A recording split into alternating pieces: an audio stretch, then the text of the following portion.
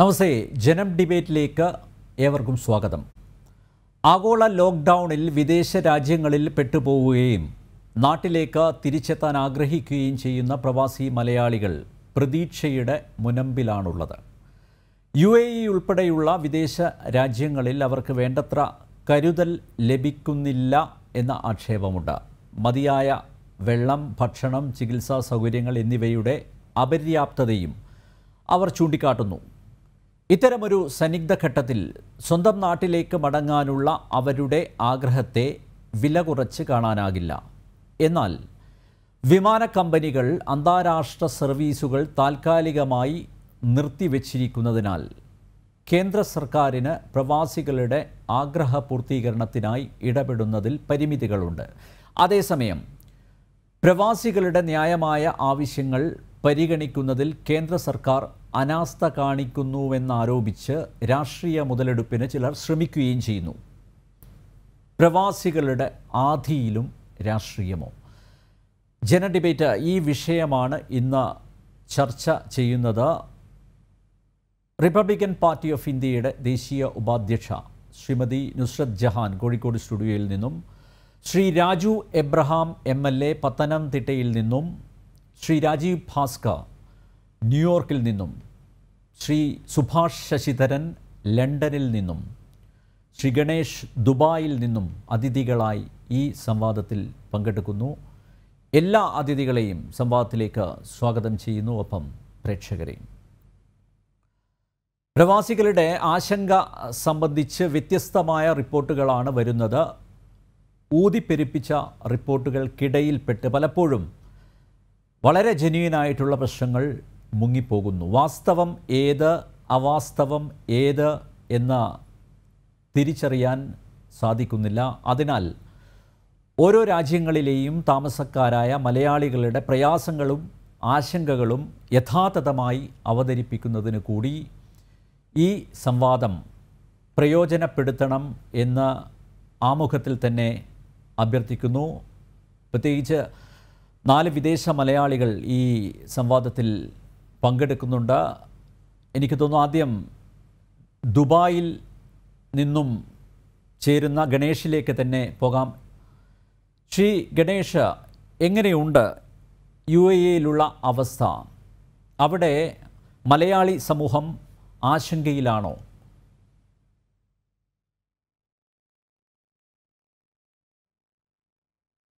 സത്യത്തിൽ ലോകമാകെ അപ്രതീക്ഷിതമായി ഉണ്ടായ ഈ ഒരു ദുരന്തം ദുര്യോഗം ഇത് എല്ലാ സ്ഥലത്തെയും പോലെ സ്വാഭാവികമായിട്ടും നമ്മുടെ ഈ പ്രദേശങ്ങളിലും ബാധിച്ചിട്ടുണ്ട്. അതുപോലെ സാധാരണയിൽ നിന്ന് വ്യത്യസ്തമായി ഇവിടെ നമ്മുടെ ബന്ധുമിത്രാദികളെയൊക്കെ അവരുമായിട്ടുള്ള ബന്ധം വിച്ഛേദിക്കപ്പെടുന്ന ആകപ്പാടുള്ള സോഷ്യൽ മീഡിയ വഴിയുള്ള ബന്ധങ്ങളല്ലാതെ അങ്ങനെ അവരെ നാടുമായി ഒരു ബന്ധം വിച്ഛേദിക്കപ്പെട്ടു എന്ന് മനസ്സിലാക്കിയപ്പോഴുണ്ടായ ഒരു ആദി പൊതുവെ മുപ്പത്തിമൂന്ന് ലക്ഷം വരുന്ന ഇന്ത്യക്കാർക്കിടയിലുണ്ട്. കേരളീയരിൽ മാത്രമല്ല പൊതുവെ പ്രവാസികൾക്കിടയിൽ.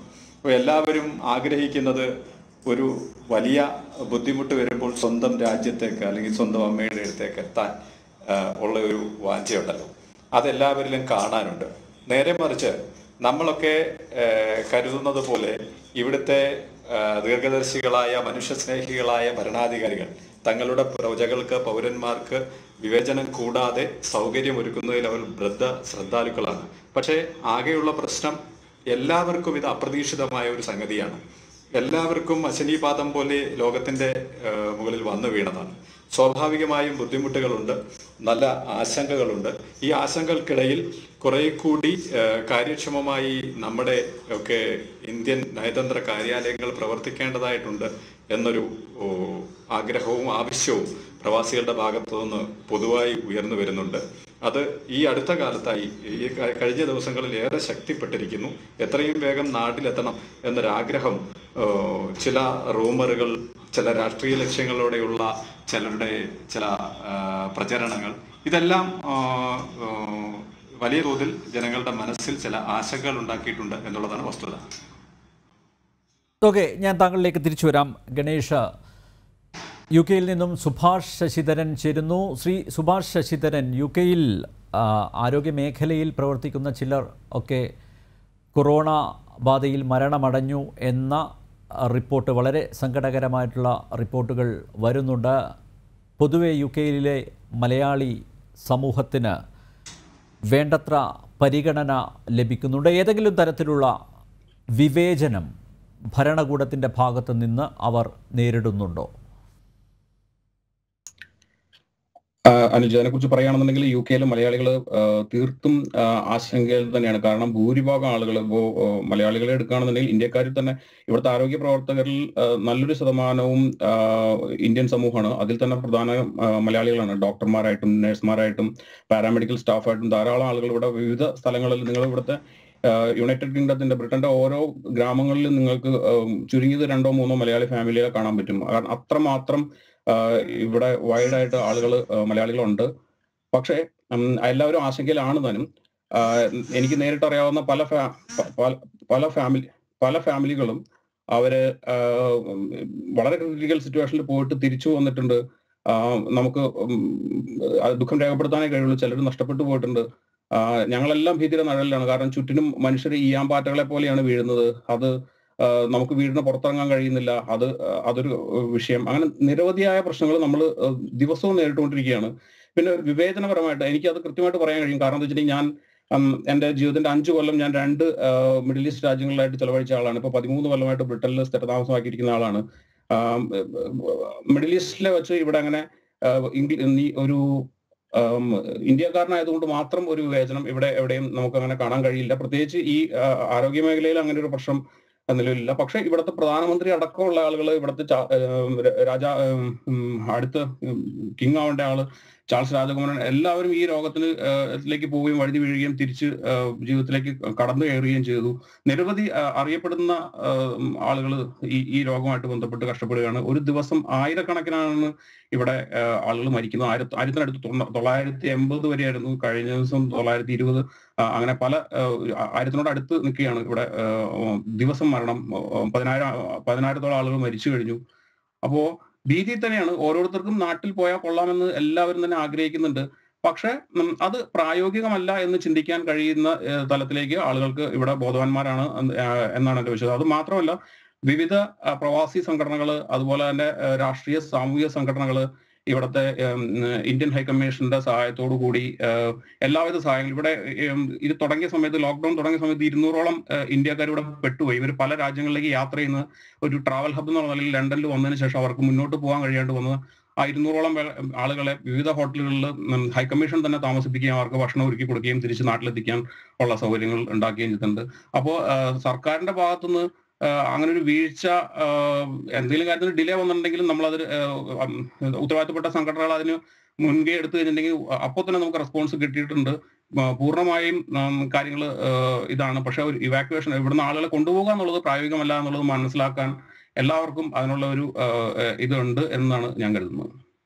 സുഭാഷ് ഗൾഫ് രാജ്യങ്ങളിലേതുപോലെ നാട്ടിലേക്ക് എത്താൻ വ്യഗ്രത കാണിക്കുന്നവർ അവിടെയുണ്ടോ? മറ്റൊരു കാര്യം കൂടി ചോദിച്ചോട്ടെ. താങ്കൾ നേരത്തെ പറയുകയുണ്ടായി ഈയാമ്പാറ്റകളെ പോലെ മനുഷ്യജീവിതങ്ങൾ കൊഴിഞ്ഞു പോകുന്നു. എന്തുകൊണ്ടാണ് അവിടെ മതിയായ ചികിത്സാ സൗകര്യം ഉറപ്പുവരുത്തത ഉറപ്പുവരുത്താത്തതാണോ പ്രശ്നം?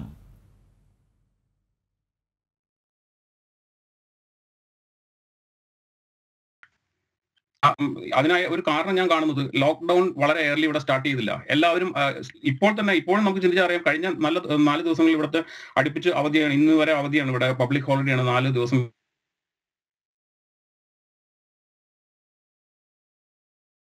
ദിവസം ആ- ഇപ്പോഴും കാണാം. അതാണ് അത്രയധികം ഇവിടുത്തെ ആൾ ആളുകൾ ഇതിനെക്കുറിച്ച് സീരിയസ് ആയിട്ട് എടുത്തില്ല. പിന്നെ വ്യക്തി സ്വാതന്ത്ര്യം അവരെ തല്ലി അകത്ത് കയറ്റാനുള്ള ഒരു സാഹചര്യം ഇവിടെ ഇല്ല. അതൊക്കെ കാരണം കൊണ്ടാണ് ആദ്യമേ ലോക്ക്ഡൌൺ നമ്മുടെ ഇന്ത്യയിൽ പ്രഖ്യാപിച്ച പോലെ ആദ്യമേ ലോക്ക്ഡൌൺ പ്രഖ്യാപിച്ചിരുന്നെങ്കിൽ ഞാൻ ഉറപ്പ് പറയാം ബ്രിട്ടനിൽ ഇത്രയും മരണം വരില്ല ഉറപ്പായിട്ടും വരില്ലായിരുന്നു. അത് മാത്രമല്ല ഈ ആളുകൾ മരിക്കുന്നു എന്ന് പറഞ്ഞു കഴിഞ്ഞിട്ടുണ്ടെങ്കിൽ കെയർ കിട്ടാത്തത് കൊണ്ട് തന്നെയാണ്. പക്ഷെ എന്തുകൊണ്ടാണ് കെയർ കിട്ടാതെ വരുന്നതെന്ന് നമ്മൾ ആലോചിച്ചിട്ടുണ്ടെങ്കിൽ ഇത് കമ്മ്യൂണിറ്റി സ്പ്രെഡിലേക്ക് മാറി.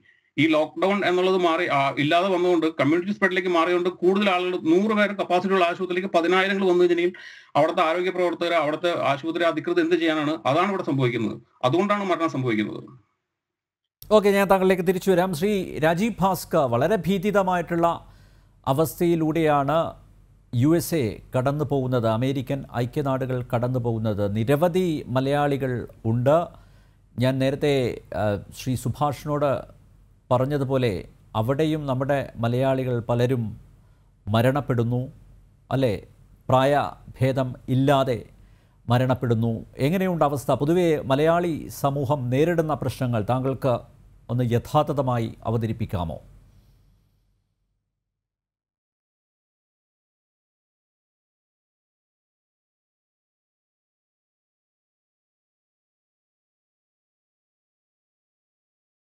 എനിക്ക് തോന്നുന്നു രാജീവ് ഭാസ്കർ ഞാൻ താങ്കളിലേക്ക് തിരിച്ചു വരാം. താങ്കൾ പറയുന്നത് എനിക്ക് കേൾക്കാൻ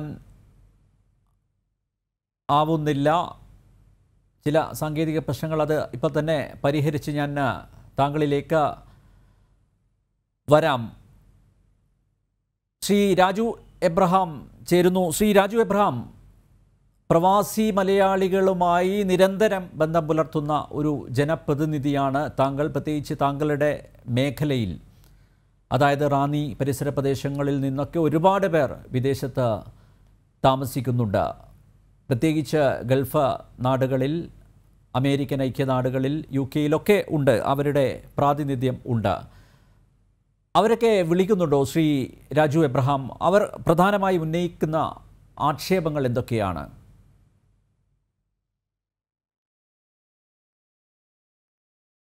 അല്ല? വ്യത്യസ്തമായിട്ടുള്ള ആവശ്യങ്ങളാണ് പലരും വിളിക്കുന്നത്. ഇപ്പോൾ ഗൾഫിലുള്ള ആളുകൾ ഗൾഫിലുള്ള ആളുകൾ പല ഡിമാൻഡുകളും ഉണ്ട്. ചില ആളുകൾക്ക് മടങ്ങിപ്പോരണം കാരണം മതിയായിട്ടുള്ള ഐസൊലേഷൻ സൗകര്യങ്ങൾ ലഭിക്കുന്നില്ല.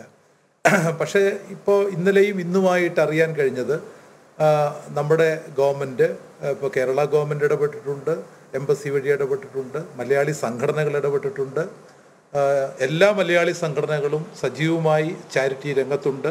ഇന്ത്യ ഗവൺമെന്റ് ഇതുമായി ബന്ധപ്പെട്ടിട്ടുണ്ട്.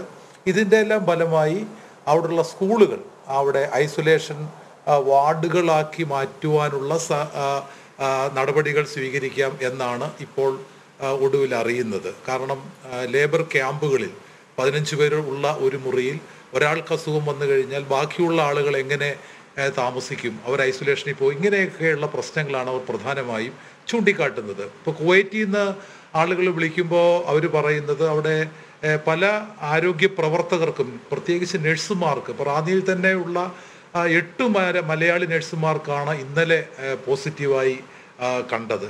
അപ്പോൾ അതടക്കം ഏതാണ്ട് പത്ത് മുപ്പത്തി ആറോളം ആളുകൾക്ക് അവരെ അസുഖം ഉണ്ടായിട്ടുണ്ട് എന്നാണ് അവിടെയുള്ള സുഹൃത്തുക്കൾ പറയുന്നത്. അപ്പോൾ അവിടെ ക്രമീകരണങ്ങൾ ഉണ്ടാവണം. അതുപോലെ തന്നെ യു എസിൽ നിന്നുള്ള നമ്മുടെ ഏറ്റവും കൂടുതൽ ആളുകൾ മരണപ്പെട്ടത് പത്തനംതിട്ട ജില്ലയിൽ നിന്ന് തന്നെയാണ്. അവിടെ ഫോമയുടെ പ്രധാനപ്പെട്ട ഓർഗനൈസറായിട്ടുള്ള സജിയുടെ മകൻ പത്തൊമ്പത് വയസ്സുള്ള ഷോൺ ശനിയാഴ്ചയായിരുന്നു ശവസംസ്കാരം. ഇവിടെ കോഴഞ്ചേരിയിലുള്ള ലലു പ്രതാപ് അദ്ദേഹം ഫിലാഡൽഫിയയിൽ അവിടെ മരണമടഞ്ഞു. നാരങ്ങാനത്തുള്ള രണ്ട് പ്രായമുള്ള ആളുകൾ. മറ്റുള്ളൊന്നും അങ്ങ് പ്രായമുള്ള ആളുകളല്ല. അപ്പം അങ്ങനെയുള്ള അനേക പ്രതിസന്ധികളുണ്ട്. യു എസിൽ തന്നെ ഇപ്പോൾ ഉള്ള പല എന്റെ സുഹൃത്തുക്കളും പോസിറ്റീവാണ് അവരൊക്കെ വീടുകളിലാണ് അവർക്ക് ഇപ്പോൾ അവരുടെ ചികിത്സ. അവർ ആശുപത്രികളിൽ പോകുന്നില്ല. ഇവിടെ സൂചിപ്പിച്ചതുപോലെ തന്നെ ഓവർ ക്രൗഡഡ് ആണ്. നൂറ് പേര് ഉള്ള സൗകര്യമുള്ള ആശുപത്രികളിലേക്ക് ആയിരവും പതിനായിരവും ആളുകൾ വന്നു കഴിയുമ്പോൾ ഉണ്ടാവുന്ന പ്രതിസന്ധിയാണ് അവിടെ പ്രധാനമായിട്ടും കാണുന്നത്. പക്ഷേ ഇവിടെയെല്ലാം നമ്മൾ കാണുന്ന ഒരു കാഴ്ച മലയാളി സമൂഹം വളരെ സജീവമായി അവിടെയെല്ലാം രംഗത്ത് വരുന്നു എന്നുള്ളതാണ്. പ്രത്യേകിച്ചും യു എസിൽ ഞാൻ തന്നെ രണ്ട് മൂന്ന് ടെലി കോൺഫറൻസുകളിൽ പങ്കെടുത്തു. ഇതിനോടകം തന്നെ പങ്കെടുത്തു. ഇപ്പം ശനിയാഴ്ച federation of no Malayali association FOMAA വലിയൊരു ടെലി കോൺഫറൻസ് വെച്ചിട്ടുണ്ട്. കേരളത്തിലെ മന്ത്രിമാരെ ഉൾപ്പെടെ പങ്കെടുപ്പിച്ചുകൊണ്ട്. അല നടത്തിയിട്ടുള്ള ടെലിഫോൺ കോൺഫറൻസ് സ്പീക്കർ ഉൾപ്പെടെ പങ്കെടുത്ത് ഇവിടുത്തെ അനുഭവങ്ങളും അവിടുത്തെ അനുഭവങ്ങളും അവർക്കെല്ലാം ഒരു ആത്മവിശ്വാസം ഉണ്ടാക്കി കൊടുക്കുക മാത്രമാണ് നമുക്കിപ്പോൾ ചെയ്യാൻ കഴിയുന്നത്. വലിയ തോതിലുള്ളൊരു എവാക്യുവേഷൻ ഇപ്പോൾ സാധ്യമാണ് എന്ന് ഒരിക്കലും നമുക്ക് പറയാൻ കഴിയത്തില്ല. പക്ഷെ ഇന്ന് ബഹുമാനപ്പെട്ട മുഖ്യമന്ത്രി അഡ്രസ് ചെയ്തിട്ടുള്ളത്. അവിടെയുള്ള വിസിറ്റിംഗ് വിസയിൽ പോയിട്ട് ഗൾഫ് രാജ്യങ്ങളിൽ വിസിറ്റിംഗ് വിസയിൽ പോയിട്ടുള്ള ആളുകൾ അതുപോലെ തന്നെ മറ്റ് അത്യാവശ്യ കാര്യങ്ങൾക്കൊക്കെ പോയിട്ടുള്ള ആളുകൾ. അങ്ങനെയുള്ള ആളുകളെ ആദ്യം മടക്കിക്കൊണ്ട് വരിക. നാളെ ബഹുമാനപ്പെട്ട പ്രധാനമന്ത്രിയുടെ പ്രഖ്യാപനം വന്ന ശേഷം അത് സംബന്ധിച്ചുള്ള ഒരു തീരുമാനത്തിലേക്ക് പോകാൻ കഴിയും എന്നാണ് പ്രതീക്ഷിക്കുന്നത്. എന്തായാലും വലിയ തോതിലുള്ള ഒരു എവാക്യുവേഷൻ സാധ്യമല്ല എന്നുള്ളത് തന്നെയാണ്. കാരണം ഒരു വലിയ മഹാമാരിയാണ്. അപ്പോൾ അങ്ങനെയുള്ള ഒരു സിറ്റുവേഷൻ ചില രാജ്യങ്ങളിൽ ഒരുക്കങ്ങൾ വൈകിയാണ് ആരംഭിച്ചിട്ടുള്ളത്. ഇപ്പം യു കെയിൽ ലണ്ടനിൽ അവിടെ എന്റെ ഒരു സുഹൃത്താണ് അവിടെ താൽക്കാലികമായിട്ടുള്ള ടെന്റുകൾ ആശുപത്രികൾ നിർമ്മിക്കാൻ കരാറെടുത്തിട്ടുള്ള ഒരു കമ്പനിയിലെ വൈസ് പ്രസിഡന്റ് എന്റെ ഒരു സുഹൃത്താണ്. അദ്ദേഹം മൂന്ന് ദിവസം മുമ്പാണ് എന്നോട് പറഞ്ഞത് ഇപ്പോൾ അതിന്റെ നിർമ്മാണ പ്രവർത്തനങ്ങൾ നടക്കുന്നതേ ഉള്ളൂ. അപ്പം വലിയ തോതിൽ. അപ്പം അല്പം വൈകി ഇവിടെ പങ്കുവച്ച ആശയത്തോട് ഞാൻ യോജിക്കുകയാണ്. തയ്യാറെടുപ്പുകൾ അല്പം വൈകിയിട്ടുണ്ടോ പല രാജ്യങ്ങളിലും?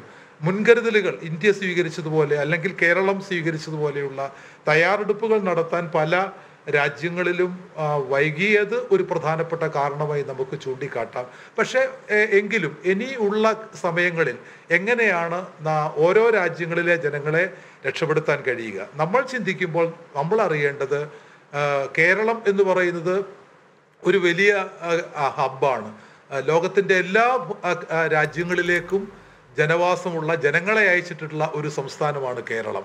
അപ്പം ആര് ആശങ്കപ്പെടുന്നതിലും കൂടുതൽ നമ്മൾ മലയാളികൾ ആശങ്കപ്പെടും. അത് സ്വാഭാവികമായും കേരള ഗവൺമെന്റ് ആ ആശങ്കകൾ പങ്കുവെക്കും. ആ ആശങ്കകൾ കേന്ദ്ര സർക്കാരിനെ അറിയിച്ചിട്ടുണ്ട് പ്രധാനമന്ത്രിയെ അറിയിച്ചിട്ടുണ്ട്. ഇന്നലെ ബഹുമാനപ്പെട്ട മുഖ്യമന്ത്രി പ്രധാനമന്ത്രിയുമായി ഈ വിഷയങ്ങൾ സംസാരിച്ചിട്ടുണ്ട്. അതനുസരിച്ചുള്ള ഒരു തീരുമാനം കേന്ദ്ര സർക്കാരിന്റെ ഭാഗത്തു നിന്നുണ്ടാകും എന്നാണ് നമ്മൾ പ്രതീക്ഷിക്കുന്നത്. ന്യൂയോർക്കിൽ നിന്നും രാജീവ ചേരുന്നു. രാജീവ ഞാൻ പറയുന്നത് താങ്കൾക്ക് കേൾക്കാമോ? ശ്രീ ഞാൻ ഞാൻ പറയുന്നത് കേൾക്കാം. Okay okay. രാജീവ് കൊറോണയെ നേരിടുന്നതിൽ അമേരിക്കൻ ഐക്യനാടുകൾ വൈകിപ്പോയി. അതുകൊണ്ട് തന്നെയല്ലേ ഇപ്പോൾ ഈ വലിയ ദുരന്തം അവർ നേരിടുന്നത്? മലയാളികൾ ഉൾപ്പെടെ പലരും മരിച്ചു വീഴുന്നു അല്ലേ? എങ്ങനെ കാണുന്നു തീർച്ചയായും. അവസ്ഥ? തീർച്ചയായും അനിൽ ഈ കൊറോണ കോവിഡ് നയന്റീൻ എന്ന് പറയുന്ന ഈ മഹാവ്യാധി ലോകത്തിൽ ഏറ്റവും അധികം ബാധിച്ചിരിക്കുന്നത് അമേരിക്കയാണ്. ഏകദേശം ആറ് ലക്ഷത്തോടടുത്ത് അഞ്ചു ലക്ഷം കഴിഞ്ഞിരിക്കുന്നു രോഗബാധിതരുടെ എണ്ണം. അതുപോലെ തന്നെ മരിച്ചവരുടെ എണ്ണവും ഏകദേശം ഒരുപാട് കഴിഞ്ഞിരിക്കുന്നു. ഏകദേശം ഒമ്പതിനായിരത്തിനോടടുത്ത് വരുന്നു. അതുതന്നെ ഈ യു എസിൽ തന്നെ മലയാളികൾ ഏറ്റവും അധികമുള്ള ന്യൂയോർക്ക് ന്യൂജേഴ്സി പ്രദേശങ്ങളിലാണ് ഈ കൊറോണയുടെ ഏറ്റവും അധികം വ്യാപനം ഉണ്ടായിരിക്കുന്നത് ന്യൂയോർക്ക് മാത്രം എടുത്തു നോക്കുകയാണെങ്കിൽ തന്നെ ഒരു ലക്ഷത്തി അമ്പതിനായിരത്തിനടുത്ത് ലോകത്തിലെ മറ്റു രാജ്യങ്ങളിലെ എല്ലാവരെയും തുലനം ചെയ്ത് നോക്കുമ്പോൾ ന്യൂയോർക്ക് എന്ന് പറയുന്ന ഒരേ ഒരു സംസ്ഥാനത്തിൽ മാത്രം ബാക്കി എല്ലാ രാജ്യങ്ങളിലേക്കാളും കൂടുതൽ കൊറോണ രോഗികളുള്ള ഒരു സംസ്ഥാനമായിട്ടാണ് ഇപ്പോൾ കാണുന്നത്. അതുപോലെ തന്നെ മരണസംഖ്യ പതിനായിരത്തോട് അടുക്കുന്നു. ഇതിന് ഒരുപാട് കാരണങ്ങളിൽ അന്ന് പറഞ്ഞ ഒരു കാരണം വളരെ ശരിയാണ്. ഈ ഒരു രോഗബാധ ഉണ്ടായപ്പോൾ കേരളമോ അല്ലെങ്കിൽ ഇന്ത്യയോ ഒക്കെ ചെയ്തതുപോലെ ലോക്ക്ഡൌൺ നടപ്പിലാക്കുവാൻ വേണ്ടി കുറച്ച് കാലതാമസം നേരിട്ടു എന്നുള്ളത് സത്യം തന്നെ. എന്നിരുന്നാൽ തന്നെയും ഒരു ക്യാപിറ്റലിസ്റ്റിക് കൺട്രി അതായത് മാർക്കറ്റ് കൊമേഴ്സ് ട്രേഡ് വ്യവസായം വാണിജ്യം എന്നീ കാര്യങ്ങളെ അതിന്റെ സ്ഥിരാകേന്ദ്രമായി നിൽക്കുന്ന ഒരു ഒരു സൊസൈറ്റിക്ക് ഒരു ഗ്രൂപ്പിന് ഒരു ലോക്ക്ഡൌൺ എങ്ങനെ ഫലപ്രദമായിട്ട് നടപ്പിലാക്കാൻ പറ്റും എന്നുള്ളതും കൂടെ ഒരു ചോദ്യചിഹ്നമായി നിൽക്കുകയാണ്. താമസിച്ചു പോയി എന്നുള്ള ഒരു വസ്തുതയായി നിലനിൽക്കെ തന്നെ നമുക്ക് അറിയില്ല. ഒരു ഇങ്ങനെ ഒരു കേരളത്തിലെയോ ഇന്ത്യയിലെയോ സ്ഥിതിയെ നമുക്ക് അല്ലെങ്കിൽ ഗൾഫ് രാജ്യങ്ങളിലെ സ്ഥിതിയോ നമുക്ക് താരതമ്യം ചെയ്യാൻ പറ്റുന്നൊരവസ്ഥയല്ല ഇവിടെ. ഓരോ ദിവസത്തെ വാണിജ്യവും വ്യവസായവും അതുപോലെ തന്നെ നഗരത്തിന്റെയും ഗ്രാമത്തിന്റെയും അതുപോലെ തന്നെ രാജ്യത്തിന്റെയും പ്രവർത്തനവും വളരെയധികം അത്യന്താപേക്ഷിതമായി നിൽക്കുന്ന ഒരു സമൂഹമാണ് ഇവിടെ. അവിടെ നമുക്കൊരു ഹർത്താൽ രൂപയോ അതൊരു ലോക്ക്ഡൌൺ എന്ന് പറയുന്ന ഇവരുടെയൊക്കെ ഒരു സങ്കല്പത്തിനും അപ്പുറമാണ്. എന്നിരുന്നാൽ തന്നെ മനുഷ്യ ജീവിതം ആണ് ഇതിനേക്കാൾ ഏറെ വിലപ്പെട്ടത് എന്നറിഞ്ഞ് ഇത് ലോക്ക്ഡൌൺ പ്രഖ്യാപിക്കുവാനും അത് നടപ്പിലാക്കുവാനും കുറച്ച് കാലതാമസം നേരിട്ടു. അതാണ് ഏറ്റവും പ്രധാനപ്പെട്ട കാരണം കൊറോണ ഇവിടെ പടരുവാനുള്ളത് പിന്നെ അതുപോലെ തന്നെ ഈ ലോക്ക്ഡൌൺ എൻഫോഴ്സ് ചെയ്യുന്നത് അത് പ്രായോഗികമാക്കി നിർബന്ധിതമാക്കി തീർക്കുവാനും പരിമിതികളുണ്ട്. നേരത്തെ സുഭാഷ് സൂചിപ്പിച്ചതുപോലെ തന്നെ നമുക്കിവിടെ ഒരു പോലീസിനെയോ അല്ലെങ്കിൽ പട്ടാളത്തിനെയോ ഏർപ്പെടുത്തിയിട്ട് നിങ്ങൾ ആരും വീട്ടിൽ നിന്ന് പുറത്തിറങ്ങരുത് എന്നുള്ളൊരു നിബന്ധന ഇത്രയും അധികം കഷ്ടമായിട്ട് പോലും ഈ രാജ്യങ്ങളിലോ ന്യൂയോർക്കിലോ അല്ലെങ്കിൽ അമേരിക്കയിലെ ഒരിടത്തും അത് അങ്ങനെ ഏർപ്പെടുത്തിയിട്ടില്ല. ഈ ഒരു നിർബന്ധിതമായിട്ടുള്ള ലോക്ക്ഡൌൺ അല്ല. ലോക്ക്ഡൌൺ പ്രഖ്യാപിക്കുകയും ലോക്ക്ഡൌൺ അത് എൻഫോഴ്സ് ചെയ്യുന്നില്ല എന്നുള്ളത് രോഗവ്യാപനത്തിന് ഇനിയും മുമ്പോട്ടുള്ള ഒരു വെല്ലുവിളിയായി തുടർന്നുകൊണ്ടിരിക്കുകയാണ് അതുപോലെ തന്നെ ഗൾഫ് രാജ്യങ്ങളെയോ യൂറോപ്പിനെയോ അല്ലെങ്കിൽ ഇന്ത്യയോ കേരളത്തിനെയോ താരതമ്യം ചെയ്യുന്ന ഒരു സ്ഥിതിയല്ല ഇവിടെ. സാമൂഹികമായിട്ടും അതിൽ തൊഴിൽപരമായിട്ടും സുരക്ഷാപരമായിട്ടും വിദ്യാഭ്യാസപരമായിട്ടും വേറൊരു രീതിയാണ് അമേരിക്കൻ സമൂഹം പിന്തുടർന്നുകൊണ്ടിരിക്കുന്നത് അത് അതുകൊണ്ട് തന്നെ ഈ ഒരു കൊറോണ എന്ന് പറയുന്ന ആരും പ്രതീക്ഷിക്കാത്ത രീതിയിലുള്ള ഒരു മഹാമാരി വന്നപ്പോൾ അതിനോട് പ്രതികരിക്കുന്നതിൽ അമൂ- അമേരിക്കൻ സമൂഹവും അമേരിക്കൻ ഗവൺമെന്റും പരാജയമായിരുന്നു എന്ന് സമ്മതിക്കുന്നതിന് ഒരു ഒട്ടും നമുക്ക് അങ്ങനെ പറയുന്നതിൽ ഒട്ടും അമാന്തിക്കേണ്ടതില്ല. പക്ഷെ അത് അവർ അറിഞ്ഞുകൊണ്ട് അങ്ങനെ ചെയ്തതാണോ എന്ന് ചോദിച്ചാൽ അറിഞ്ഞുകൊണ്ടല്ല എന്ന് വേണം നമുക്ക് ഉത്തരമായിട്ട് പറയാൻ. പിന്നെ മലയാളികളുടെ കാര്യം ഏറ്റെടുക്കുകയാണെങ്കിൽ ഈ മലയാളികൾ പ്രധാനമായും നമ്മുടെ ആരോഗ്യ പ്രവർത്തകർ ഫ്രണ്ട് ലൈൻ വർക്കേഴ്സ് ഡോക്ടർമാര് നഴ്സുമാര് ഇ എം ടി വർക്കേഴ്സ് അപ്പോൾ അങ്ങനെയുള്ള മലയാളികൾ പകുതിയിലധികം പേരും ഈ ആരോഗ്യ സേവാ പ്രവർത്തനങ്ങളിൽ ആരോഗ്യ രംഗത്ത് പ്രവർത്തിക്കുന്നതാണ് അതുകൊണ്ട് തന്നെ ഓരോ മലയാളി കുടുംബങ്ങളിലും ഏതെങ്കിലും ആരോഗ്യ രംഗത്ത് പ്രവർത്തിക്കുന്ന ആരെങ്കിലും ഉണ്ടാകും. അതുകൊണ്ട് തന്നെ മലയാളി സമൂഹം വളരെ ഒരു ഭീതിതമായിട്ടുള്ള ഒരു ട്രൊമാറ്റിക് അല്ലെങ്കിൽ അതർവൈസ് സ്ട്രെസ്ഫുൾ ആയിട്ടുള്ള ഒരു അവസ്ഥയിലേക്കാണ് ഇപ്പോൾ കടന്നു പോയിക്കൊണ്ടിരിക്കുന്നത്. നേരത്തെ പ്രധാനപ്പെട്ട നമ്മുടെ ബഹുമാനപ്പെട്ട എം എൽ എ സൂചിപ്പിച്ചതുപോലെ തന്നെ ഇരുപത്തിരണ്ടിലധികം മരണമുണ്ടായിരിക്കുന്നു. അതിൽ തന്നെ ഏറ്റവും കൂടുതൽ ഉണ്ടായിരിക്കുന്നത് ന്യൂയോർക്ക് ന്യൂജേഴ്സി ഏരിയയിലാണ്. പിന്നെ ഈ അൻപത് വയസ്സ് അടുപ്പിച്ചിട്ടുള്ള ആൾക്കാർ കുറെ കൂടെ പ്രായമായവരെയാണ് ഈ ഒരു ഈ ഒരു മഹാ മഹാവ്യാധി ഇപ്പൊ ഷോൺ അബ്രഹാമിന്റെ കാര്യം പറഞ്ഞു. അദ്ദേഹം ഇരുപത്തൊന്ന് വയസ്സുള്ള ഒരു ചെറിയ കുട്ടിയാണ്.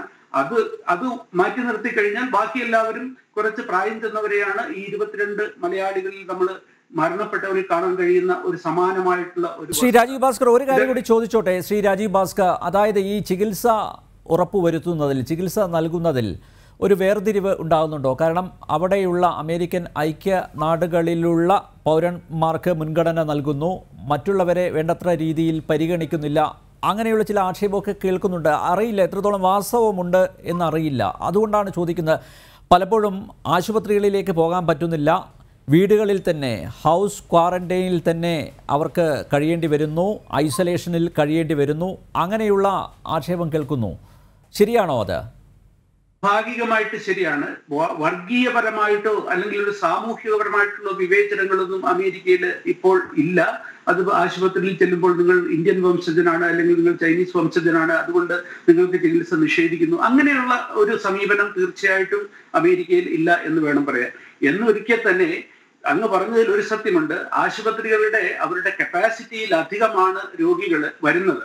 അതായത് വെന്റിലേറ്റർ മുതലായിട്ടുള്ള ഈ ഒരു അസുഖത്തിന് ശരിക്കും പറയുകയാണെങ്കിൽ ഇതേവരെ ചികിത്സയൊന്നും കണ്ടുപിടിക്കപ്പെട്ടിട്ടില്ല. നമ്മൾ ഹൈഡ്രോക്സി ക്ലോറോക്കിനും അതുപോലെ തന്നെ അസിത്രോമൈസിൻ എന്ന് പറയുന്ന ആന്റിബയോട്ടിക് ഇത് രണ്ടും മാത്രമാണ് അഡ്മിനിസ്റ്റർ ചെയ്യുന്ന രോഗികൾക്കുമില്ല അത് ചിലർക്ക് ഭാഗികമായിട്ട് വർക്ക് ചെയ്യുന്നുണ്ട് ചിലർ വർക്ക് ചെയ്യുന്നില്ല. എന്നിരുന്നാൽ തന്നെയും ഒരു പരിധി കഴിയുമ്പോൾ ഈ ഒരു അസുഖബാധ ഉണ്ടായി ഏകദേശം ഒരു ഒരാഴ്ച കഴിയുമ്പോഴത്തേക്കും രോഗിയുടെ നില എന്തെങ്കിലും മെഡിക്കൽ അണ്ടർലൈൻ മെഡിക്കൽ കണ്ടീഷൻ ഉണ്ടെങ്കിൽ ഏകദേശം ഒരു പനി ജലദോഷം എന്നുള്ള രീതിയിലാണ് ആദ്യത്തെ ഒരാഴ്ച കടന്നു പോവുക അത് കഴിഞ്ഞിട്ട് കൊടുെന്നെയാണ് ശ്വാസതടസ്സം വിശ്വസിക്കാനുള്ള ബുദ്ധിമുട്ടും വരിക ആശുപത്രിയിലേക്ക് പോകേണ്ടി വരിക. അവിടെ ചെല്ലുമ്പോൾ ഓട്ടോമാറ്റിക് ആയിട്ട് ഇന്റിബേറ്റ് ചെയ്യുകയും നമുക്ക് വെന്റിലേറ്ററിന്റെ സഹായം ആവശ്യം വരികയും ചെയ്യുന്നുണ്ട്. അങ്ങനെ ഒരു സ്ഥിതിഗതികൾ വരുമ്പോൾ വെന്റിലേറ്ററുകളുടെ എന്താ പറയുന്ന അവിടെ ഒരു ആ ആശുപത്രിയുടെ കപ്പാസിറ്റിക്കും ഉപരിയായിട്ട് രോഗികൾ അവിടെ ചെല്ലുന്നത് കൊണ്ട് അധികൃതർ നമ്മളോട് പറയുന്നത് പനി ജലദോഷം മുതലായ കാര്യങ്ങൾ ഉണ്ടെങ്കിൽ നിങ്ങൾ നിങ്ങളുടെ ഡോക്ടറെ ടെലിഫോണിൽ കൂടെ ടെലിമെഡിസിനിലൂടെ കൺസൾട്ട് ചെയ്യുകയും ആദ്യത്തെ ഒരാഴ്ച വീട്ടിലിരിക്കുകയും ശ്വാസ തടസ്സം പോലെ നമുക്ക് ശ്വാസം എടുക്കാൻ പറ്റാതെ വരുന്നു അല്ലെങ്കിൽ ശ്വാസകോശത്തിൽ ന്യൂമോണിയ ഡെവലപ്പ് ചെയ്യുന്നു ഒരു രക്ഷയുമില്ല എന്നുള്ളൊരവസ്ഥ എത്തിയാൽ മാത്രമേ ആശുപത്രിയിലേക്ക് ചെല്ലുകയും അവിടെ അഡ്മിറ്റ് ചെയ്യുകയും ചെയ്യപ്പെടുന്നുള്ളൂ. അല്ലാതെ നമ്മൾ നേരത്തെ ചെന്ന് കഴിഞ്ഞാൽ നമ്മളോട് പറയുന്നത് തിരിച്ചു വീട്ടിലേക്ക് പോയിക്കൊള്ളൂ എന്നുള്ളതാണ്. അപ്പോൾ അങ്ങനെ ഒരു അന്ന് പറഞ്ഞതിനകത്ത് ഭാഗികമായിട്ടൊരു സത്യമുണ്ട് താൻ. യെസ് ശ്രീ ഞാൻ താങ്കളിലേക്ക് തിരിച്ചു വരാം. ശ്രീമതി നുസ്രത് ജഹാൻ പ്രവാസി മേഖലയിൽ ദീർഘകാലത്തെ പ്രവൃത്തി പരിചയം ഉണ്ട് മേഡത്തിന്. പ്രവാസികളെ തൽക്കാലം തിരിച്ചു കൊണ്ടുവരേണ്ടതില്ലെന്ന് സുപ്രീം കോടതി ഇന്ന് വ്യക്തമാക്കിയിരിക്കുന്നു. പ്രവാസികൾ നിലവിൽ എവിടെയാണോ അവിടെ തുടരണം. പ്രവാസികൾക്ക് യാത്രാനുമതി നൽകിയാൽ അത് ലോക്ക്ഡൗൺ നിർദ്ദേശങ്ങൾക്ക് തിരിച്ചടിയാകും എന്നും സുപ്രീം കോടതി നിരീക്ഷിച്ചിട്ടുണ്ട്. ഞാൻ ചോദിക്കുന്നത് ഈ നമ്മുടെ യു എയിലുള്ള മലയാളികൾക്ക് അവർക്ക് അവരിൽ പ്രതീക്ഷ ജനിപ്പിക്കും വിധത്തിൽ ഒരു സംഘടന ഇടപെടുന്നു. അവർ ഹൈക്കോടതിയെ സമീപിക്കുകയാണ് K M C C. Chartered flight ഏർപ്പെടുത്തണം അതിനുള്ള അനുമതി നൽകണം എന്ന് പറഞ്ഞുകൊണ്ടാണ് അവർ കോടതിയെ സമീപിച്ചത്. എന്തായാലും കെ എം സി സിക്ക് അറിയാം ഇത്തരമൊരു ഘട്ടത്തിൽ അതായത് ആഗോള ലോക്ക്ഡൗൺ ആണ് അത്തരമൊരു ഘട്ടത്തിൽ എന്തായാലും വിമാന സർവീസ് അനുവദിക്കില്ല എന്ന് അറിയാം. പക്ഷേ എങ്കിലും അവർ കോടതിയെ സമീപിക്കുന്നു. ഇതാണ് പ്രവാസി മലയാളികളിൽ പ്രതീക്ഷ ജനിപ്പിച്ചത്.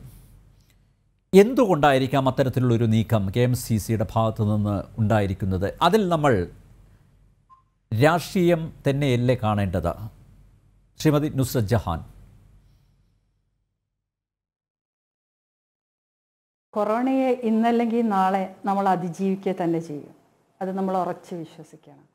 അതുപോലെ തന്നെ പ്രവാസി സുഹൃത്തുക്കൾ എന്ന് പറയുന്നത് അവർ നമ്മളുടെ നാടിന്റെ സ്പന്ദനമാണ്. അവർക്ക് നമ്മളുടെ അടുത്ത് നമ്മൾ പറയുന്നതും നമ്മളെ രാജ്യത്തിന്റെ സുരക്ഷിതയും മനസ്സിലാക്കുന്നവർ തന്നെയാണ് ഇപ്പോൾ നമ്മൾ ഇടയിൽ ഈ ചർച്ചയിൽ പങ്കെടുത്ത മൂന്ന് പ്രവാസി സുഹൃത്തുക്കളുടെ അടുത്തൊന്നും നമുക്കത് വ്യക്തമായി.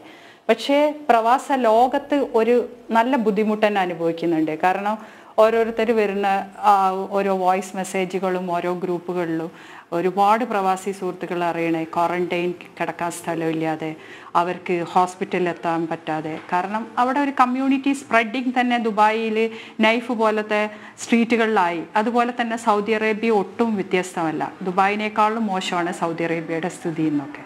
അപ്പോൾ ഈ ഒരു അവസരത്തിൽ അവിടെ ഇരുന്ന് അവരുടെ ഡിസീസ് മാനേജ്മെന്റ് അല്ലെങ്കിൽ ഹെൽത്ത് മാനേജ്മെന്റ് അതാണ് നമ്മൾ ഇപ്പോൾ ഡിസീസ് മാനേജ്മെന്റിന് സംഘടനകൾ ചെയ്യുക. കാരണം ഈ ലേബർ ക്യാമ്പിലും ബാച്ചിലേഴ്സുള്ള എട്ടും പത്തും പേര് തിങ്ങി താമസിക്കുന്ന റൂമുകളിലും ക്വാറന്റൈൻ കിടക്കാൻ ഒരു നിർവാഹവും അപ്പോൾ അവരുള്ളവരെ മാറ്റി അതിപ്പോൾ ചെയ്തുകൊണ്ട് വരുന്നുണ്ട്. ഇപ്പോൾ ഇന്നലെ തൊട്ടിട്ട് നമ്മൾക്ക് കാണാൻ പറ്റി സ്കൂളുകളിലും മറ്റും ഇന്ത്യൻ എംബസി ഇടപെട്ട് ഈ വക കാര്യങ്ങൾ ചെയ്യാനും സാമൂഹ്യ സന്നദ്ധ സംഘടനകൾ ചെയ്യേണ്ടതിന് പകരം നമ്മൾ അനവസരത്തിൽ എനിക്കും പറയാനുള്ളത് അവരുടെ പറഞ്ഞ് മനസ്സിലാക്കി അവർക്കൊരു ഒരാശ കൊടുത്ത് തെറ്റിദ്ധാരണ ഉണ്ടാക്കുന്ന ഒരു ഇതിനേക്കാളും നമ്മൾക്ക് അവർക്ക് അവയർനെസ് ആണ് കൊടുക്കേണ്ടത്. ചികിത്സ ഡിസീസ് മാനേജ്മെന്റിനുള്ള അവയർനെസ് കൊടുക്കുന്നതിന് പകരം സുപ്രീം കോടതിയിലും ദിസ് ഇസ് സ്പീക്കർ അറ്റൻഷൻ കിട്ടാൻ വേണ്ടി ചാടി കയറി പോണ ഒരു സംവിധാനം പോലും നമുക്ക് കാണാൻ പറ്റി. See that is not a good thing to ശോധം അതാ അല്ലേ? അപ്പോൾ ആ ഒരു അവസരം എന്ന് പറഞ്ഞാൽ നമ്മൾ ഈ- അനവസരത്തിൽ കോടതിയിൽ പോവൽ കാരണം ഇന്നത്തെ ഒരു കാര്യം മാത്രമല്ല കാരണം ഇനി മുന്നോട്ടും ഈ രാജ്യങ്ങളൊക്കെ ആയിട്ടും ഈ പ്രവാസി സുഹൃത്തുക്കൾക്കൊക്കെ തന്നെ നമ്മുടെ വേണ്ടപ്പെട്ടവർക്കൊക്കെ ഈ രാജ്യങ്ങളിലെ ജോലിയും അവരുടെ ബെനിഫിറ്റ്സും അവരുടെ കുടുംബാംഗങ്ങളും ഒക്കെ ഉണ്ട്. അപ്പോൾ ആ ഒരു നയതന്ത്രത്തിലൂടെ നമ്മൾ പോണതിന് കേന്ദ്ര ഗവൺമെന്റിനോട് സമീപിച്ച് കാര്യങ്ങൾ ചെയ്ത് ഇന്ത്യൻ എംബസികളെ ഉൾപ്പെടുത്തി ചെയ്യണതിന് പകരം കോടതിയിൽ പോയി ഒരു മാസത്തേക്കുള്ള ഒരു ബ്ലോക്ക് എന്ന് കൊണ്ടുവന്നത് ശരിക്കും നാണം കെട്ട ഒരു പരിപാടി തന്നെയായിട്ട് എനിക്ക് തോന്നുന്നത്. കാരണം ഈ ഇന്നലെ ഇപ്പോൾ പറഞ്ഞു നമ്മൾ ഒരു മെഡിക്കൽ സംഘത്തെ ഗൾഫിലേക്ക് അയക്കുക സി ഓരോ ഡിപ്ലോമാറ്റിക് ഒരു സ്റ്റാറ്റസ് ഉണ്ട് രാജ്യങ്ങൾ തമ്മിലുള്ള. വൺസ് ഒരു കോർട്ടിൽ പോയാൽ നിങ്ങൾക്ക് എല്ലാവർക്കും അറിയാം. ഒരു കോർട്ടിൽ പോയി വന്ന ഒരു സംഗതിക്ക് ആ കോർട്ടിന്റെ ഇതുവരെ കാത്തിരിക്കേണ്ട ഒരു സാധനം ഗവൺമെന്റുകൾക്ക് വരും. അപ്പോൾ അതിന് പകരം നമ്മൾ ഇത് നയതന്ത്രത്തിലൂടെ നമ്മൾക്ക് പ്രവാസികാര്യ മന്ത്രി കേരളത്തിന് തന്നെ ഉണ്ട്. നമ്മുടെ കേരളത്തിൽ നിന്ന് തന്നെ പോയേ. ഇതുപോലുള്ള കാര്യങ്ങൾ എംബസികൾ ചെയ്യണില്ല ആ കാര്യത്തിൽ ഞാൻ വ്യക്തമായിട്ട് ഞാൻ എന്റെ അനുഭവം ഞാൻ പറയാം. എംബസികൾ അത് ഈ ഗവൺമെന്റിനെയോ കേരള സംസ്ഥാന സർക്കാരിനെ ഒന്നും കുറ്റപ്പെടുത്തിയിട്ട് രണ്ട് ഗവൺമെന്റിനെ എംബസികളുടെ സ്വഭാവത്തിന് ഇ ജി എൻ തൊഴുത്ത് തന്നെ ഞാൻ അതിനെപ്പറ്റി പറയാൻ എനിക്ക് പറ്റുള്ളൂ. ഒരു ഹെർക്കുലിസ് വന്ന് അത് ക്ലീൻ ചെയ്യേണ്ട ആവശ്യമുണ്ട്. ഈ അവസരം കേന്ദ്ര ഗവൺമെന്റും കേരള ഗവൺമെന്റും അതൊരവസരമാക്കി എടുത്തിട്ട് ആ ഒരു ക്ലീനപ്പ് നമ്മൾ ചെയ്യേണ്ട ഒരു ആവശ്യം. അവിടെ മാത്രമേ നമ്മൾ വിജയിക്കുകയുള്ളൂ. അതിനൊക്കെ വേണ്ടി നമ്മൾ ഒന്നിച്ചിരുന്നു ഒറ്റക്കെട്ടായി കേന്ദ്രവും സംസ്ഥാനവും ഒറ്റക്കെട്ടായിരുന്ന് ശ്രമിക്കേണ്ടതിന് പകരം നമ്മൾ ബ്ലോക്ക് ഇടാൻ രാഷ്ട്രീയ മുതലെടുപ്പോ നമ്മൾ സ്പീക്കർ അറ്റൻഷൻ ഒന്നും കിട്ടുന്ന പണിയെടുക്കുന്നത് ശരിയല്ല. കാരണം വേൾഡിൽ നോക്കുകയാണെങ്കിൽ ദർ ഇസ് വൺ ഗൾഫിൽ മാത്രം നയൻ മില്യൺ മലയാളികളുണ്ട്. ഓൾ ഓവർ ദ വേൾഡ് നമുക്ക് തേർട്ടി മില്യൺ മലയാളികളുണ്ട്. ഇവരെ എല്ലാം കൂടെ ഇവാക്വേറ്റ് ചെയ്യാന്ന് പറഞ്ഞാൽ it's not a easy job അതിൽ ടെൻ പെർസെന്റേജ് വരികയാണെങ്കിൽ തന്നെ എത്ര വിമാനം ഓപ്പറേറ്റ് ചെയ്യണം? ഈ വിമാന കമ്പനികൾക്കില്ലേ? അല്ല, ഈ ചാർട്ടേഡ് ഫ്ലൈറ്റിൽ തന്നെ എത്ര പേർക്ക് കയറാൻ പറ്റും? സ്ട്രാറ്റജി ഉണ്ട്. ശ്രീമതി നുസ്രത് ജഹാൻ ചാർട്ടേഡ് ഫ്ലൈറ്റുകൾ ഏർപ്പെടുത്തിയാൽ തന്നെ എത്ര പേർക്ക് എത്ര പേർക്ക് കയറാൻ പറ്റും? സമൂഹത്തിന്റെ ഉന്നത ശ്രേണിയിൽ ഇരിക്കുന്നവർക്ക് സാമ്പത്തികമായി സാമ്പത്തികമായി ഉന്നത തലങ്ങളിൽ നിൽക്കുന്നവർക്ക് മാത്രമല്ലേ അത് പ്രാപ്യമാവുകയുള്ളൂ അല്ലേ? യെസ് കറക്റ്റ് സി ഗിന്നസ് ബുക്കിൽ പേര് വന്ന ഇടം പിടിച്ച എയർ ഇന്ത്യ ഇന്ത്യ. ഇന്ന് ഇന്ത്യ കൊറോണ കാലത്ത് ഇന്ത്യ ലോകത്തിന് മാതൃകയായി നമ്മൾ വിളിച്ചോതുന്നു യു എൻ കേരള അപ്പൊ ആ സമയത്ത് Air India one lakh seventy thousand പീപ്പിളാണ് Gulf വാറിന്റെ സമയത്ത് എയർ ഇന്ത്യ ഇവാക്യുവേറ്റ് ചെയ്ത് that Air India still there ആ എയർ ഇന്ത്യനെ നമ്മൾ യൂസ് ചെയ്ത് ഇവാക്യുവേഷൻ പറയുന്ന സമയത്ത് why we need and chartered flight പൈസ ഉള്ളവന് മാത്രം ഫ്ലൈറ്റിൽ കയറിയാൽ മതിയോ? ഇല്ല ഇറ്റ്സ് നോട്ട് പോസിബിൾ അത് ഒരു ഗവൺമെന്റിനും ചെയ്യാനോ അതിനുള്ള അനുമതികളും കിട്ടിക്കഴിയുമ്പോൾ ഇതിലൊരു കമേഴ്ഷ്യൽ സെറ്റപ്പ് തന്നെയാണ് നമ്മൾ കാണണ്ടേ. കാരണം എപ്പോഴും ഗവൺമെന്റ് ഇത്രയും ചെയ്യുമ്പോൾ ഈ ഗവൺമെന്റിന് അത് ചെയ്യാൻ പറ്റും. തീർച്ചയായിട്ടും. അപ്പോൾ ഈ ഇവാക്വേഷൻ എയർ ഇന്ത്യ ചെയ്യേണ്ട evacuation everybody should reach in their home land എത്രയും പെട്ടെന്ന് എന്നുള്ള സംവിധാനം ചെയ്തുകൊണ്ട് വരേണ്ട നമ്മൾ അതിനുള്ള പ്രിപ്പറേഷൻ ഇപ്പം തന്നെ ലിസ്റ്റ് പ്രയോറിറ്റി വൈസിൽ നമുക്ക് ലിസ്റ്റ് ഉണ്ടാക്കാം. വിസിറ്റിംഗ് വിസയിൽ ഫാമിലി വൈസിൽ പിന്നെ പ്രഗ്നന്റ് ലേഡീസ് ഓൾഡ് ലേഡീസ് ആ ബേസിൽ നമുക്ക് ഉണ്ടാക്കാം. ഇത് പറഞ്ഞ് മനസ്സിലാക്കേണ്ടതിന് പകരം ഈ ഒരു സ്റ്റൈലിൽ ഞാൻ വരാം. ശ്രീമതി നുസ്രത് ജഹാൻ സാങ്കേതിക പ്രശ്നം വീണ്ടും. ഗണേഷ നുസ്രത് ജഹാൻ പറഞ്ഞതുപോലെ ഇതിൽ കെ എം സി സി രാഷ്ട്രീയം കളിക്കുകയായിരുന്നില്ല? കെ എം സി സിക്ക് വ്യക്തമായി അറിയാം.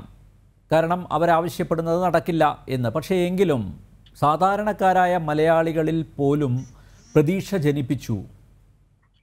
മാത്രമല്ല ഇവർ നേരത്തെ ശ്രീമതി നുസജഹാൻ ജഹാൻ ചൂണ്ടിക്കാണിച്ചതുപോലെ എംബസികളുടെ ഇടപെടൽ എങ്ങനെയുണ്ട്? ഒരു ഈജിയൻ തൊഴുത്ത് ആയിട്ടാണ് ചിത്രീകരിച്ചിരിക്കുന്നത്. ഇത്തരം ഒരു സന്നിഗ്ധ ഘട്ടത്തിൽ എങ്കിലും ഈ എംബസികളുടെ ഇടപെടൽ പ്രവർത്തനം കുറെ കൂടി മെച്ചപ്പെട്ടതാക്കാൻ കേന്ദ്ര സർക്കാർ ശ്രദ്ധിക്കണം എന്ന് പറയുകയുണ്ടായി.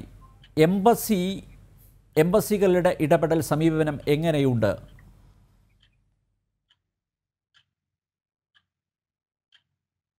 ഞാൻ ആദ്യം പറഞ്ഞ വിഷയത്തിൽ വരാം. കോടതിയിൽ അവരുടെ ഉപദേശശുദ്ധി എന്തായാലും ശരി അത് അബദ്ധമാണ് ചെയ്തത് എന്നുള്ള കാര്യത്തിൽ ഒരു തർക്കവുമില്ല.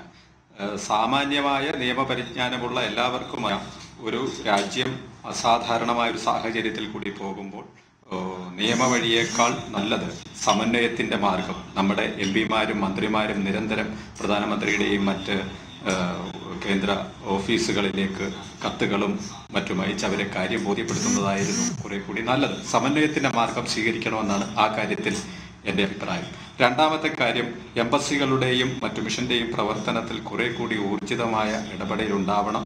ഇപ്പോഴുള്ള പ്രവർത്തനത്തിൽ പ്രവാസികൾ പൊതുവെ സംതൃപ്തരല്ല എന്നുള്ള കാര്യത്തിൽ ഒരു തർക്കവുമില്ല. വേണ്ട രീതിയിൽ നമ്മുടെ എംബസികൾ കുറെ കൂടി കാര്യക്ഷമമായി സ്റ്റാഫുകളെ ഉൾപ്പെടുത്തി.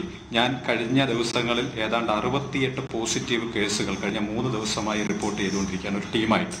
അതിൽ ഏതാണ്ട് എട്ട് പേരെ മാത്രമാണ് ഹോസ്പിറ്റലൈസ് ചെയ്തത്. പക്ഷേ യു എ സംബന്ധിച്ചൊക്കെ നോക്കുമ്പോൾ ഇവിടെ ആ രോഗത്തിന്റെ തീവ്രത അതല്ലെങ്കിൽ പോസിറ്റീവ് ആയിട്ട് ടെസ്റ്റ് ചെയ്യപ്പെട്ടിട്ടുള്ളവരാണെങ്കിലും അവരൊക്കെ സിംറ്റംസ് വളരെ കുറച്ചേ കാണിക്കുന്നുള്ളൂ. ഇതൊക്കെ അവർ നിരീക്ഷിക്കുന്നു എന്നാണ് എംബസിയിൽ നിന്ന് ബന്ധപ്പെട്ടപ്പോഴും ഉദ്യോഗസ്ഥന്മാരൊക്കെ പറഞ്ഞത്. അടിയന്തര ഘട്ടത്തിൽ അടിയന്തരമായി തന്നെ അവരെ ഹോസ്പിറ്റലിൽ എത്തിക്കാനുള്ള ശ്രമം നടത്തും. ഇന്നലെ തന്നെ അങ്ങനെ ഒരു കൃത്യമായി ഒരു ഒരു ലേഡിക്ക് പെട്ടെന്ന് അവർ കുഴഞ്ഞു വീണു. നമ്മൾ എംബസി വിളിച്ച് പത്ത് മിനിറ്റ് കൊണ്ട് അവരെ ഹോസ്പിറ്റലൈസ് ചെയ്തു. ഇന്ന് അറിയാൻ കഴിഞ്ഞത് കുറെ കൂടി ആളുകളെ തീരെ പ്രശ്നങ്ങളൊന്നും ഒരുപാട് ആളുകളെ കാണുന്നത് അവർക്ക് കാര്യമായ രോഗലക്ഷണങ്ങളൊന്നുമില്ല. ഞാൻ ആദ്യം ഈ ചർച്ച തുടങ്ങി വെച്ചത് ഞാനായതുകൊണ്ട് അധികം പരിഭ്രാന്തി നമ്മുടെ നാട്ടിലുള്ളവരിൽ ഉണ്ടാക്കണ്ട എന്നുള്ളത് കൊണ്ടാണ് അല്പം മിതമായി പറഞ്ഞത്. എന്നാലും യാഥാർത്ഥ്യത്തിലേക്കും വസ്തുതയിലേക്കും പോവാതിരിക്കാൻ സാധിക്കില്ല. ഇവിടെ അനവധി നമുക്കറിയാം വളരെ ക്രൗഡഡ് ആയിട്ടുള്ള കോമ്പാക്റ്റഡ് ആയിട്ടുള്ള വർക്കേഴ്സ് സിറ്റികളൊക്കെ ഉള്ള സ്ഥലമാണ് ഗൾഫ് രാജ്യങ്ങൾ. അവിടെ കൂട്ടമായിട്ടാണ് തൊഴിലാളികൾ താമസിക്കുന്നത്. അവർക്ക് വേണ്ടത്ര ഇതിനെക്കുറിച്ചുള്ള അവയർനെസ് കൊടുക്കുക എന്നുള്ളതാണ് ആദ്യം എംബസികൾ ചെയ്യേണ്ടിയിരുന്നത്. അതിൽ ചെറിയ വീഴ്ചകൾ വന്നിട്ടുണ്ട് എന്നുള്ളതിൽ ഒരു തർക്കവുമില്ല. അതിനുശേഷം പക്ഷെ ആഹാരം എത്തിക്കണം എന്നുള്ള കാര്യത്തിൽ എംബസി വളരെ കാര്യക്ഷമമായിട്ട് ആ കാര്യത്തിൽ ഇടപെടുന്നുണ്ട്. നമ്മളെ പോലുള്ള പൊതുപ്രവർത്തകരോട് സാമൂഹ്യ പ്രവർത്തകരോട് അവർ ഇങ്ങോട്ട് ആവശ്യപ്പെടുന്നു. എവിടെയെങ്കിലും ഭക്ഷണത്തിന് കുറവുണ്ടായാൽ അതിന്റെ പരിഹാരം ഉണ്ടാക്കാൻ നിങ്ങൾ ഇടപെടൂ. ശ്രീ ഗണേഷ് ഒരു കാര്യം ഇടപെട്ട് ചോദിച്ചോട്ടെ? ഈ കോടതിയിൽ പോയ സംഘടനകളൊക്കെ മാത്രമല്ല കോടതിയിൽ പോയ സംഘടനകളൊക്കെ ഭക്ഷണം എത്തിക്കുന്നതിൽ ഇടപെടുന്നുണ്ടോ? കാരണം കഴിഞ്ഞ ദിവസം കേന്ദ്രമന്ത്രി വി മുരളീധരനുമായി ഉള്ള തത്സമയ പരിപാടിയിൽ പലരും പറഞ്ഞത് ഇത്തരത്തിലുള്ള സംഘടനകൾ നമുക്ക് ആവശ്യമുള്ള വെള്ളവും ഭക്ഷണവും പോലും എത്തിക്കുന്നില്ല എന്നൊരു പരാതിയാണ് ഉന്നയിക്കുക ഉണ്ടായത്. അതിൽ കേന്ദ്ര സർക്കാർ എന്തെങ്കിലും ചെയ്യണം. കാരണം നമുക്കറിയാം ജില്ല തിരിച്ച് സംഘടനകളുണ്ട് അല്ലേ? യു എയിൽ അതെ അതെ. അല്ല സംഘടനകൾ ഇടപെടുന്നു എന്നുള്ള കാര്യത്തിൽ ഒരു സംശയവും വേണ്ട. കാര്യക്ഷമമായി പല സംഘടനകളും പ്രവാസി സംഘടനകളും അവരുടെ പരിമിതിക്കുള്ളിൽ നിന്ന് ഇടപെടുന്നുണ്ട്. പക്ഷേ ഇതിലൊക്കെ എവിടെ നിന്നോ ഉള്ള ചില ചിദ്രശക്തികളുടെ ഇടപെടലും അല്പാൽപ്പം മലയാളികളുടെ പൊതു സ്വഭാവമാണോ എന്നറിയത്തില്ല. രാഷ്ട്രീയം കടന്നു വരുന്ന എല്ലാവരും ഈ ഒരു വലിയൊരു പ്രതിസന്ധിയിലേക്ക് കടന്നു പോകുമ്പോൾ എല്ലാവരും രാഷ്ട്രീയമൊക്കെ മറന്ന് എല്ലാവരും ഒത്തൊരുമിച്ച് ദൈവ പ്രാർത്ഥനയോടുകൂടി എല്ലാവരെയും കണ്ട് ഒരുമിച്ച് പോകാനുള്ള ഒരു സാഹചര്യം ഉണ്ടാക്കണം അവിടെ ഈ കേന്ദ്ര ഗവൺമെന്റിനോടായാലും ശരി കേരള ഗവൺമെന്റിനായാലും ശരി ലോക്കൽ അതോറിറ്റികളോടായാലും ശരി ഒരു ഫ്രിക്ഷൻ ഉണ്ടാക്കുന്ന സാഹചര്യം ഉണ്ടാവരുത്. സമന്വയത്തിന്റെ മാർഗം സ്വീകരിക്കണം. വീണ്ടും വീണ്ടും ആവശ്യപ്പെടണം. അവരെ കാര്യം പറഞ്ഞ് ബോധ്യപ്പെടണം. ഈ സാഹചര്യത്തിലല്ല. കാരണം നമ്മുടെ കുവൈറ്റിൽ നിന്ന് തൊണ്ണൂറ്റി രണ്ടിൽ വലിയൊരു ഇവാക്വേഷൻ നടന്ന കഥയുടെ ശ്രീമതി നസ്രത് ജഹാൻ പറഞ്ഞു. അന്നത്തെ സാഹചര്യം ഭാരതത്തിൽ അന്ന് കൊണ്ടുവരാനുള്ള എല്ലാത്തരം അന്തരീക്ഷം ഉണ്ടായിരുന്നു. പക്ഷേ നമ്മൾ ആലോചിക്കണം ഇവിടെ നിന്ന് പ്രവാസികളെ കൊണ്ടുപോകുന്ന ഇവാക്വേറ്റ് ചെയ്യുന്ന പ്രവർത്തനം ഉടൻ ആരംഭിക്കണം എന്നുള്ള കാര്യമാണ് ഞങ്ങൾ എല്ലാവരും ആവശ്യപ്പെടുന്നത്. പക്ഷേ ആരെയാണ് ആദ്യം കൊണ്ടുപോകേണ്ടതെന്നാണ് ചോദ്യം. ഇവിടെ തുടക്കത്തിൽ തന്നെ ഒരു ചാർട്ടേഡ് ഫ്ലൈറ്റിൽ ചില പ്രമാണിമാർ ആദ്യം ബുക്ക് ചെയ്യുന്ന ഒരു സാഹചര്യം ഉണ്ടായി. ചാർട്ടേഡ് ഫ്ലൈറ്റിൽ പോകേണ്ടവർ പിന്നെ ഞങ്ങൾക്ക് പേര് തരൂ എന്ന് പറഞ്ഞ് വളരെ വൈഡായിട്ട് പലരുടെയും പേര് ഇവിടെ വലിയ തോതിൽ സർക്കുലേറ്റ് ചെയ്യപ്പെട്ടു. അതിലൊക്കെ രജിസ്റ്റർ ചെയ്തത് വലിയ പ്രമാണിമാരാണ്. ആരെയാണ് ആദ്യം കൊണ്ടുപോകേണ്ടത് ഇവിടുന്ന്? രോഗാതുരരായിട്ടുള്ളവർ ജീവൻ രക്ഷാ മരുന്നിനാവശ്യമുള്ളവർ വിസ തീർന്നവർ വിസിറ്റ് വിസയിൽ ഇവിടെ വന്ന് പെട്ടുകിടക്കുന്നവർ. ഇന്നലെ ഒരു അമ്മ എന്നെ വിളിച്ചു അവർ വിസിറ്റിന് വന്നതാണ്. ഇവിടുത്തെ ഈ വാർത്തകളെല്ലാം കേട്ട് മാനസിക വിഭ്രാന്തിയിലേക്ക് അമ്മ പോകുന്നു എന്നൊരു സുഹൃത്ത് വിളിച്ച് പറയുകയുണ്ടായി. ഇങ്ങനെയുള്ളവരെ എത്രയും വേഗം കാരണം അവർക്കൊക്കെ ഇവിടുത്തെ ജീവിത ചെലവ് ഉയർന്നതാണ് ഇവിടുത്തെ വാടക ഉയർന്നതാണ് മറ്റുള്ളവർക്ക് ഇപ്പോഴത്തെ സാഹചര്യത്തിൽ പണ്ട് പ്രവാസികൾ ഉദാരമായി സഹായിച്ചിരുന്നു. ഇന്ന് പ്രവാസികൾക്കിടയിൽ മൂന്ന് തരത്തിലുള്ള ആളുകളുണ്ട്. തീരെ ബുദ്ധിമുട്ടുന്നവരായി സാമാന്യ ബുദ്ധിമുട്ടിലേക്കുള്ളവരുണ്ട് ചെറിയ തോതിൽ ബുദ്ധിമുട്ടുന്നവർ ഇതാണ് പ്രവാസികളെ ഇപ്പൊ ക്ലാസിഫൈ ചെയ്തത്. കാരണം എല്ലാവർക്കും ബുദ്ധിമുട്ടുണ്ട്. ആ ബുദ്ധിമുട്ടിനിടയിൽ നിന്നുകൊണ്ട് വേണം നമ്മുടെ സഹജീവികളെ സംരക്ഷിക്കാൻ. അതുകൊണ്ട് ഗവൺമെന്റ് കാര്യക്ഷമമായി ഇടപെടണം. എത്രയും വേഗം ക്വാറന്റൈൻ സെന്ററുകൾ വളരെ അത്യാവശ്യമാണ്. അത് ആദ്യം വേണം അവയർനെസ് വേണം. അത്യാവശ്യമായി മൊബൈൽ ക്ലിനിക് ഉൾപ്പെടെയുള്ള സംവിധാനങ്ങൾ ഇവിടുത്തെ ഗവൺമെന്റുമായി ആലോചിച്ചുകൊണ്ട് ഉന്നത തലത്തിലുള്ള ഇടപെടൽ തന്നെ ആ കാര്യത്തിൽ വേണം. പക്ഷേ നമ്മുടെ രാജ്യത്തിന്റെയും നമ്മളും ഇവിടെയും ഈ രാജ്യവും തമ്മിൽ നല്ല സൗഹൃദ രാജ്യമാണ് നമ്മളുടേത്. നമ്മളോട് നല്ല രീതിയിൽ ഏഹ്, നമ്മളെ സമീപിക്കുന്നവരാണ്. പക്ഷേ രാജ്യങ്ങളുടെ നയതന്ത്ര ബന്ധങ്ങളെ തകരാറിലാക്കുന്ന രീതിയിലുള്ള യാതൊരു തരത്തിലുള്ള റൂമറും കിംവദന്തികളും പരത്തരുത്.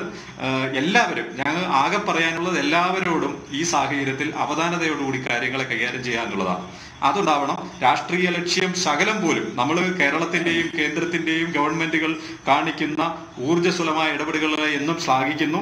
പക്ഷേ അതേ സമയത്ത് ഇവിടെ നിന്ന് കാസർഗോഡ് പോയ കൊച്ചിയിൽ നിന്ന് കാസർഗോഡ് വരെ എത്തുന്നതിനിടയിൽ മൂവായിരം പേർക്ക് ഈ രോഗം പരത്താനുള്ള സാഹചര്യം ഒരുക്കിയ ഒരു അന്തരീക്ഷം അവിടെയുണ്ട്. അതുകൊണ്ടായിരിക്കാം ഗവൺമെന്റ് ഭയപ്പെടുന്നത് മുപ്പത്തിമൂന്ന് ലക്ഷം ആളുകളെ അങ്ങോട്ട് കൊണ്ടുവരുമ്പോൾ അല്ലെങ്കിൽ ഗൾഫ് റീജിയനിലെ തൊണ്ണൂറ് ലക്ഷം ആളുകളെ കൊണ്ടുപോകുമ്പോൾ അമ്പതിനായിരം പേരെ പോലും സുരക്ഷിതമായി ക്വാറന്റൈൻ ചെയ്യപ്പെട്ട് കാരണം ഇതിനുള്ള പ്രവർത്തനം ഇപ്പോഴേ തുടങ്ങണം. ഇവിടെ കോവിഡ് ടെസ്റ്റ് കഴിഞ്ഞാൽ ഏതാണ്ട് പത്ത് ദിവസങ്ങളൊക്കെ കഴിഞ്ഞാണ് ഇപ്പൊ ടെസ്റ്റിന്റെ റിസൾട്ട് കിട്ടുന്നത്. അതുകൊണ്ട് പ്രയോറിറ്റൈസ് ചെയ്ത് ആരൊക്കെയാണ് പട്ടിക ഉണ്ടാക്കി എംബസി ഇപ്പോഴേ ആരംഭിക്കണമെന്നാണ് ഞങ്ങളുടെ അഭിപ്രായം. നാട്ടിലേക്ക് പോകേണ്ടവരെ എംബസി സർട്ടിഫൈ ചെയ്യണം. അപ്പോൾ അവരെ നേരത്തെ കോവിഡ് ടെസ്റ്റിന് വിധേയമാക്കണം. പത്തോ പതിനഞ്ചോ ദിവസം കഴിഞ്ഞാണ് ആരംഭിക്കുന്നതെങ്കിൽ ഇപ്പോഴേ എംബസി ആ പ്രവർത്തനം ആരംഭിക്കണം. നാട്ടിലെത്തിയാൽ പ്രോപ്പറായി അവരെ ക്വാറന്റൈൻ ചെയ്യപ്പെടുമെന്ന് സംസ്ഥാന ഗവൺമെന്റുകൾക്ക് ഉറപ്പ് നൽകാൻ കഴിയണം. കാരണം എയർപോർട്ടിൽ നിന്ന് വരെ ആളുകൾ ചാടിപ്പോയ ഒരു സംസ്ഥാനമാണ്. ഇത് വിമർശിക്കാൻ വേണ്ടി പറയുകയല്ല. ഇനിയെങ്കിലും നൂറ്റി മുപ്പത്തിയഞ്ച് കോടി ജനങ്ങളെ സംരക്ഷിക്കാനുള്ള ബാധ്യതയുള്ള നമ്മുടെ സംസ്ഥാന ഗവൺമെന്റിനും ഭാരത ഗവൺമെന്റിനും കുഴപ്പമുണ്ടാക്കാത്ത രീതിയിൽ നമ്മുടെ പ്രവാസി സഹോദരങ്ങളെ പ്രയോറിറ്റി അനുസരിച്ച് ജീവൻ രക്ഷാ മരുന്നുകൾ ആവശ്യമുള്ളവരെ വിസ തീർന്നവരെ അവരെയൊക്കെ ആദ്യം അവിടെ എത്തിച്ചുകൊണ്ട് ഗവൺമെന്റുകളും എംബസികളും കാര്യക്ഷമമായി ഇത് ഇടപെടണം. കാര്യമായ പ്രശ്നങ്ങളുണ്ട്. പക്ഷെ പരിഭ്രാന്തി പരത്തുന്ന രീതിയിൽ സംസാരിക്കേണ്ട എന്നുള്ളതാണ് ഞങ്ങൾ എല്ലാവരും ആഗ്രഹിക്കുന്നത്. പക്ഷേ ഇത് മനസ്സിലാക്കിക്കൊണ്ട് തന്നെ നമ്മുടെ ഗവൺമെന്റ് ഇടപെടുമെന്ന് വിചാരിക്കുന്നു. ഞങ്ങൾ എല്ലാ സമയത്തും ഞങ്ങൾ. എന്ത് തരം പിന്തുണയും എംബസികൾക്ക് നൽകാൻ തയ്യാറാണ്. ഏത് തരത്തിലുള്ള വാളണ്ടിയർ സേവനവും നൽകാൻ തയ്യാറാണ്. ഓക്കെ സുഭാഷ് താങ്കൾ കൈപ്പൊക്കുന്നുണ്ട് ഞാൻ തിരിച്ചെത്താം. ഒരു ഇടവേളയ്ക്ക് ശേഷം. ഇടവേളയ്ക്ക് ശേഷം.